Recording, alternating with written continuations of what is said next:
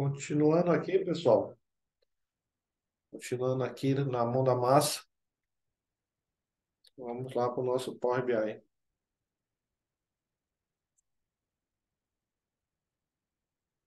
Aqui eu vou só dar uma organizada. Primeiro salvar. Eu vou dar uma organizada. Aqui vai ser informações de vendas. E esse de desconto eu vou criar uma nova página aqui chamada descontos. Vamos organizar isso aqui, né? E vou copiar isso daqui, mover, Ctrl X, Ctrl V. Vamos colocar para cá.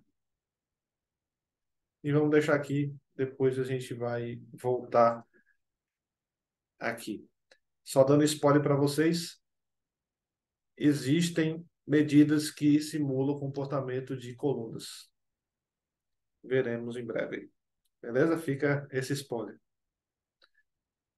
E fica outro spoiler. Por quê? Por que que, por que, que tem isso, né? Por que, que tem medidas que simulam né, esse comportamento de coluna? É, existe porque coluna, é, adicionar uma coluna não é muito performático. Né? Vai gerar mais processamento, vai gerar mais espaço alocado em disco. Então, isso é, não é bom, certo? Mas isso aí a gente vai ver uma aula posterior. Mas já fica isso aí em mente. Beleza? Então, vamos lá. O próximo passo aqui é um outro comando é, ali do, do DAX, que é o divide. A gente vai ver esse comando agora. E ia mostrar aqui para. Ia não, né? Vou mostrar aqui para vocês como é que ele funciona. Beleza? Então vamos lá. Vamos abrir aqui o, uma medida nova. Nova medida. Vamos criar a medida. Então, acho que já deu para perceber que o ideal para quando você vai fazer cálculos é fazer medidas certo? Colunas, você evita ao máximo de criar colunas físicas, né? Certo? Mas lembrando que até agora, até o momento, a gente sabe que coluna é a que calcula linha a linha. Beleza? Mas posteriormente a gente, no spoiler, né? a gente vai ver medidas que faz isso também. Né? Mas não é as tradicionais. É, beleza, então vamos criar aqui a gente quer saber aqui agora, usando para usar o comando divide, a gente tem uma missão que é saber o valor da vendas versus meta, né? Então a gente vai querer saber qual o valor da venda, da, o percentual, na verdade, aqui, né, de vendas versus meta. Quanto da meta foi atingido, né? Quanto de, de vendas teve em relação à meta. Então, a gente vai fazer uma, uma, uma medida chamada vendas versus meta. Você não, né? Versus, versus meta. Que é igual. A gente vai usar o comando divide. Então, divide, o que, que ele é? Você poderia colocar dividido, né? Soma vendas dividido por soma, soma meta. É uma divisão. Né? Esse cálculo é divisão. Se você quer saber uma em relação à outra para encontrar um percentual, é uma divisão. Mas não é, ele não é, vamos dizer assim, otimizado. Já o divide, ele é otimizado para esse tipo de cálculo, né, de divisão. Então, sempre eu recomendo, quando você for fazer uma divisão, você usar o divide né, que ele, faz, ele tem essa capacidade aí de tratar casos de divisão por zero.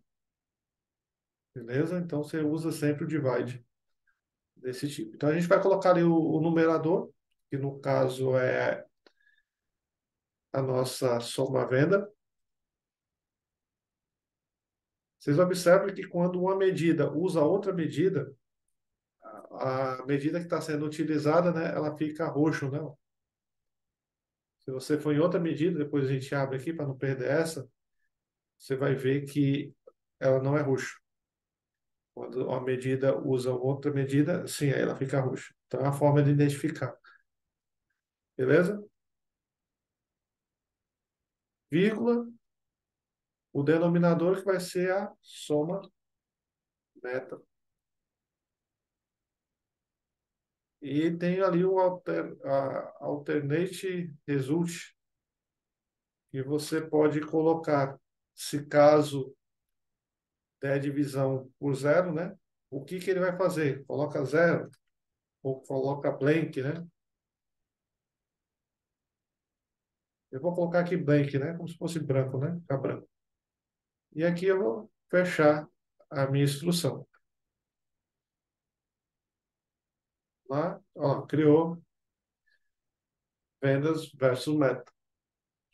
Só para mostrar para vocês aqui, ó, se soma meta, por exemplo, que pega o dado de uma tabela, né? Não é de outra de outra medida, ele é azul. E já medidas que pega dado de outras medidas, ela é roxa. Beleza? Dito isso, vamos lá continuar.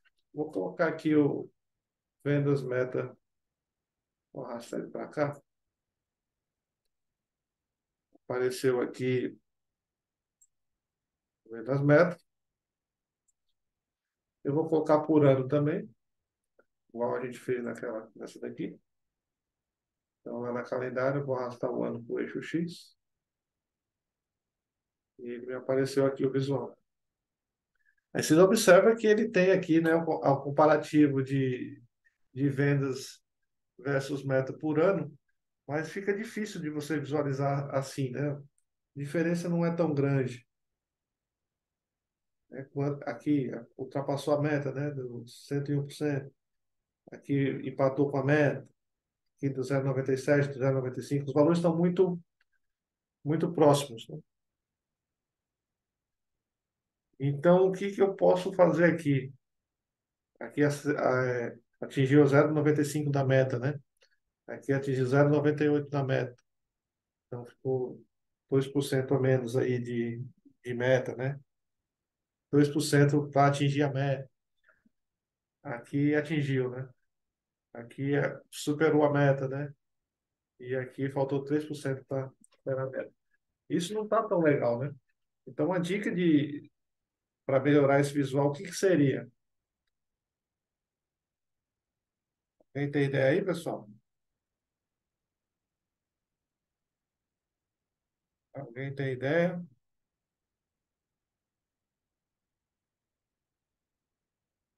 Mas ninguém vai me responder, né? Porque não é ao vivo. Então, vamos lá. É, estou com uma brincadeira, pessoal. É, eu posso vir aqui na minha vendas versus meta e colocar aqui, ó, já que é um percentual, né? Eu vou colocar menos um. Vou alterar minha medida para menos um. Então aí ele tira aquele aquele que era um percentual, né? É, 1,01. Então, ele superou 1% da, me, da, da meta. Se eu tirar 1, ele fica 0,1. Por exemplo, que era isso aqui, né? Então, superou em 1% a, a, a meta. Aqui bateu, né? Aqui ficou a, devendo 3%, né? Então, então, é nesse sentido que eu queria mostrar para vocês que o visual fica muito mais, mais amigável, né? E como é que fica mais amigável ainda? Já que é percentual aqui, a gente pode colocar aqui no formato de percentual, né? Ó, fica bem melhor. A gente pode colocar aqui para visualizar isso no gráfico também. Para legenda, a gente pode vir aqui. Valores, título aparecendo. A gente pode colocar aqui na linha de grade.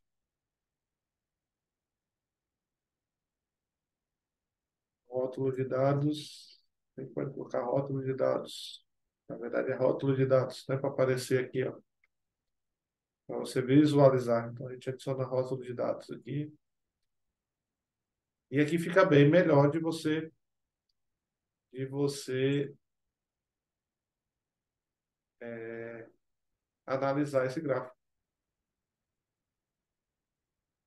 Né? Porque lá estava tudo junto ali, você não sabia, anteriormente estava tudo junto, você não sabia qual percentual ali, que era muito próximo. Né? Então aqui a gente sabe que em 2017 a meta foi superada em 1,44%. E em 2018 ela ficou só um pouquinho abaixo ali, né? menos de 1%, 0,17%. Então, é quase, quase atingiu a meta, né? Aqui em 2019 já ficou abaixo, menos 2%, aqui menos 4,67% e assim vai. Então, aqui já dá para você ter uma visão melhor. Beleza? Fica essa dica aí também para vocês em relação a, a visual também, né? Então, agora, a gente usou o comando divide, então a gente já sabe alguns comandos aí, soma, average, que é a média, né? E o divide aí para divisão. Agora a gente vai para um outro, um outro comando muito utilizado no, no, Power, no, no DAX, né, no Power BI, que é o Calculate. Então, vamos lá ver, ver, a, ver essa questão, beleza? Mas eu vou fazer o seguinte, o Calculate é um comando que eu creio que, que todos aqui já ouviu falar, ou, ou quem não ouviu falar aí, agora que vai ouvir falar, vai ter muita gente falando assim, ah, Calculate é um comando muito complexo, não sei o que, não sei o que lá. Mas a questão do, do Calculate é você entender a lógica dele, né? E, e com ele você consegue atra, é, trabalhar o contexto em linhas na, nas medidas. Beleza? Então eu vou deixar para o próximo vídeo e a gente já entra com a mão na massa aí no, no, no Calculate. Beleza? Então, até lá, pessoal. Valeu!